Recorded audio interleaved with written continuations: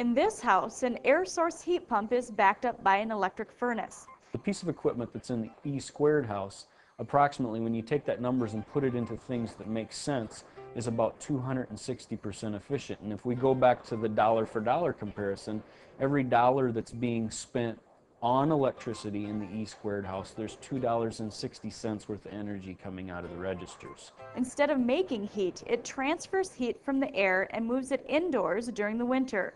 In the summer, that process is reversed. The backup system is necessary for an air source heat pump when the temperatures get too cold. An even more efficient option is a geothermal system. Instead of using the outside air, it uses the natural heat of the earth.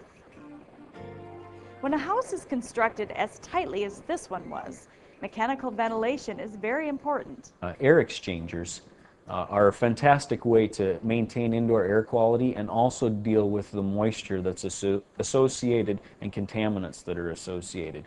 What happens inside an air exchanger is that there's a heat exchanger that as we take stale or contaminated air that's in the house and try to exhaust it outside, it passes through a device called a heat exchanger that has fresh air coming from the outside.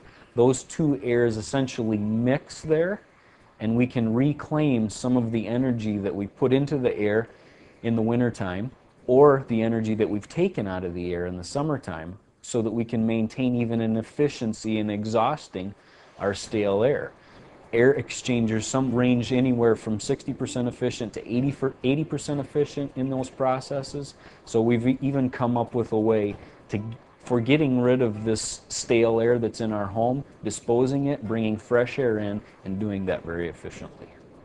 Radiant reflective coating is used in the attic on the underside of the roof. It reduces the radiant heat transfer between the roof and the attic.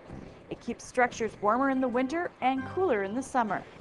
Tight ductwork is extremely important to the efficiency of the entire heating and cooling system. The ductwork in this house was taped at the seams to reduce leaks.